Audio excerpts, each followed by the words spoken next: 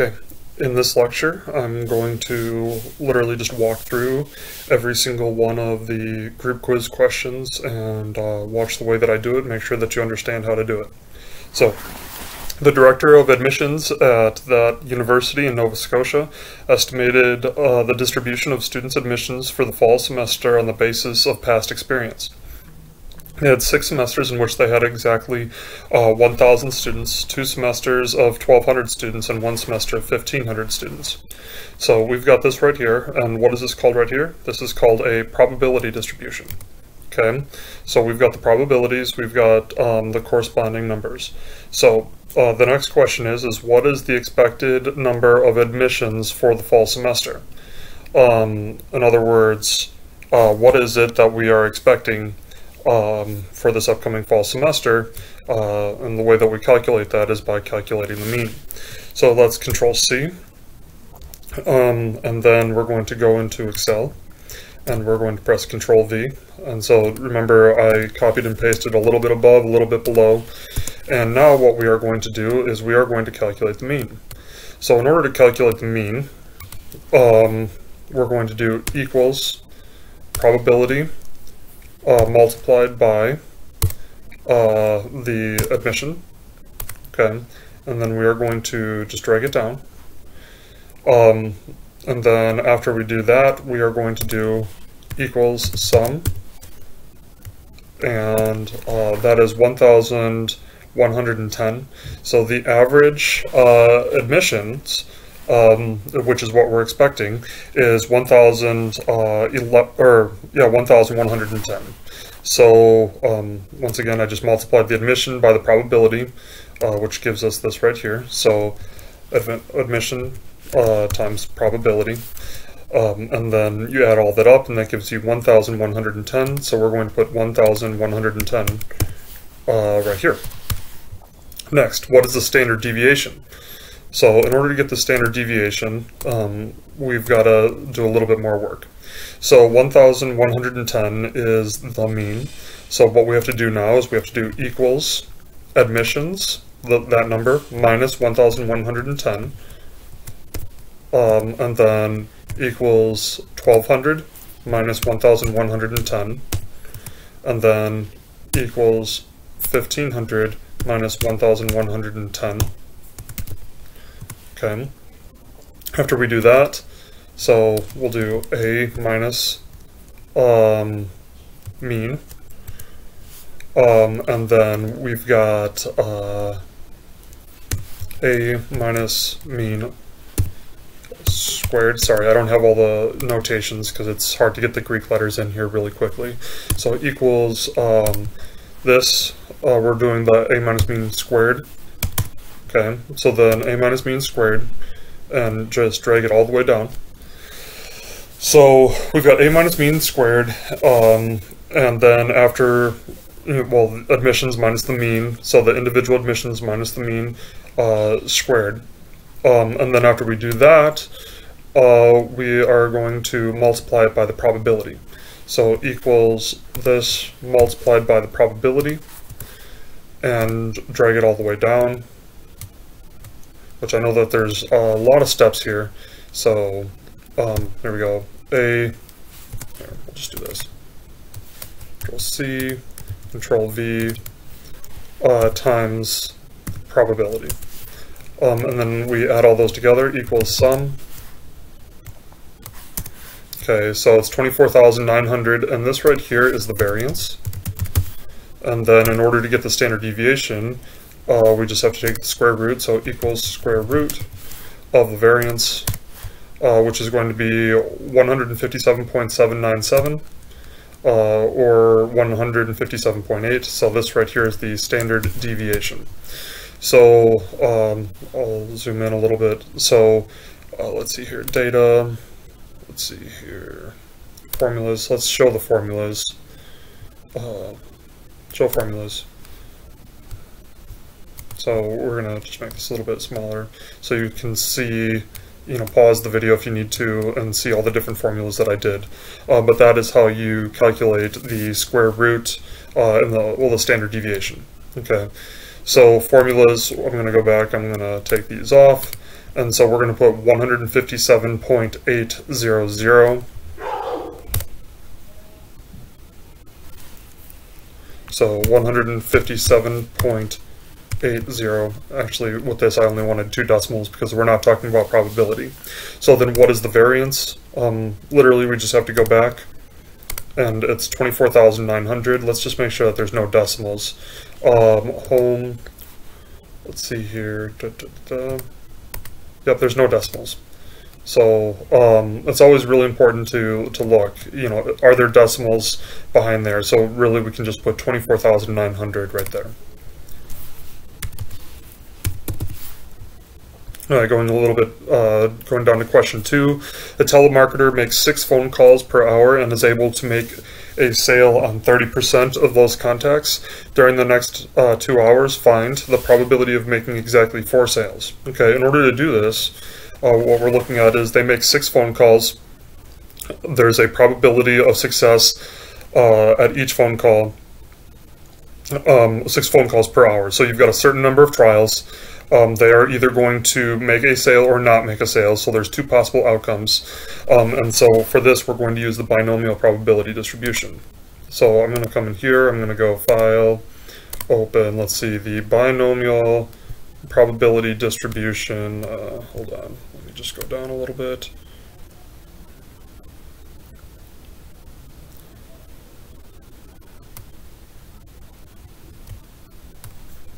Let's see binomial, there we go, binomial probability distribution worksheet. So now what we've got to do is, let's take a look at this information. Six phone calls per hour, okay. Um, so during the next two hours, so they make a total of 12 phone calls. So they're making a total of 12 trials. And on each of those trials, what's the probability of success? The probability of success at each trial is 30%.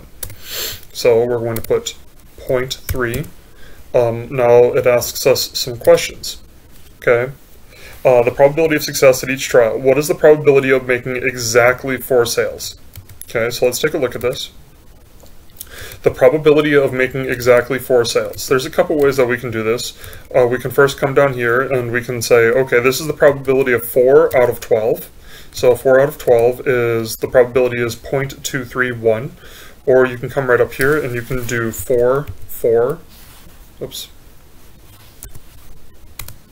4, um, and it's going to do the exact same thing for you. So uh, 4 and 4, or 4 and uh, right here, and so we're going to put 0.231 is the probability of success. Another thing that you can do is you can come right down here and you can say what is the probability of uh, 4, um, and you can see 1, 2, three, uh, four. And, um, let's see here. Or that's with four trials. Uh, so four successes is actually right here. I need to fix this. Uh, it's actually right here is, is the one that we're looking at, but 0.231. Okay, so uh, 0.231. Okay. Oh, that's not what I want. Okay, so 0.231, uh, the probability of making no sales. So I'll come right back here and use this right here. So 0, uh, the probability of making 0 sales is 0.0138 or 0.0134. So I'm going to put 0.0134, uh, except I don't want to do that because that's going to 4. So uh, it's going to be 0.014 is what we're going to do. 0.014. Uh, the probability of making exactly two sales. Um, exactly two, uh, sorry, exactly two sales. So we're going to look at two sales, um, and it's going to be 0.167, or if you round it up, it's going to be 0.168. 0.168 and then the average number of sales in the two hour period. So in order to get the average number of sales in the two hour period, you literally just have to multiply 0.3 by 12. Okay, because uh, what we've got right here is we've got the average number of trials. So equals, um, I'm going to unprotect this. I'm going to uh, do something really quick. Um, view, protect.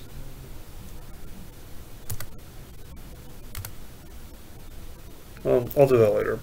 So, um, here we go. We've got 0.3 times 12. So uh, this right here is going to be the average number of sales, so it's going to be 3.6 is the average number of sales in a two-hour period. So 3.6 or 3.60 or something to that effect, 3.600. Okay, so moving on. If a restaurant is dependent on favorite food, what is the probability of a Mexican uh, probability of Mexican being an individual's favorite food? Okay, so if restaurant, so if restaurant is dependent on favorite food, okay, what is the probability of uh, Mexican being an individual's favorite food? Okay, um, so right here, um, it's literally just uh, 35 divided by 221.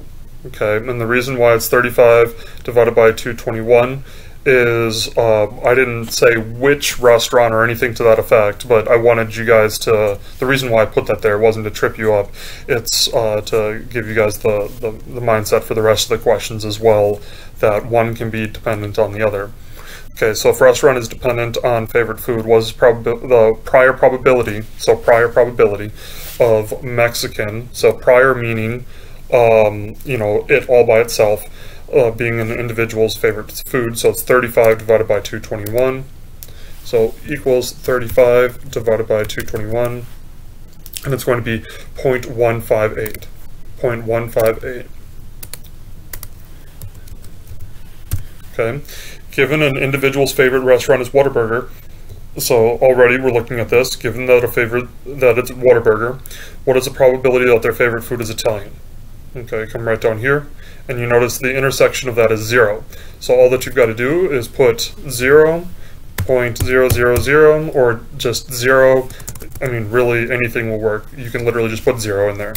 Um, I think I put pretty much every variation of zero that you can choose from, but just put zero because there's zero probability. What is the joint probability of an individual having a favorite food of burger and their favorite restaurant being Chick-fil-A? So favorite food of burger and their favorite restaurant being Chick fil A. So when we say joint probability, what we mean is what is the probability of both this and this occurring among everyone? Among everyone. So it's 23 divided by 221. 23 divided by 221, uh, that right there is joint probability. The probability of two things happening equals 23 divided by 221. So it's going to be 0.104. 0.104. Okay. So what is the empirical probability of an individual's favorite food being burger? Okay.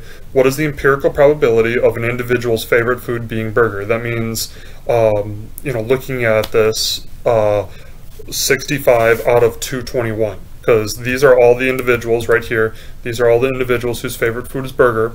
So what is the empirical probability of an individual's favorite food being burger? And it's going to be 65 out of 221. So let's come right here equals 65 divided by 221, and it's 0.29412, or 0.294, 0.294. And then uh, notice we had 221 trials there, but if you were to randomly survey 40 people, what would be the probability that exactly 13 of them would have a favorite food of burger? So what we're going to do is we're going to take the empirical probability, which you can take the 0.294, but I'd suggest taking this, 0.29412, copy this, okay, and then go into the probability, the binomial probability distribution worksheet, and put this, the 0.294, 1 dot dot dot, um, put it into the probability of success at each trial, and remember it said with 40 trials, okay? With 40 trials, what's the probability of how many people's favorite food being burger? Okay, that exactly 13 of them would have a favorite food of burger. So we're going to go down to here, 13, and the probability is 0.122. 0.122. So, um, and I'll show you how I got that again, is I did, uh, we've got the number of successes, so 0 out of 40, 1 out of 40, 2 out of 40, so on and so forth. Okay, so this right here, uh, 13 successes, that is what it asks for, right? 13 successes is 0.122. 0.122. And so um, that right there is all the answers and how to do the entire quiz.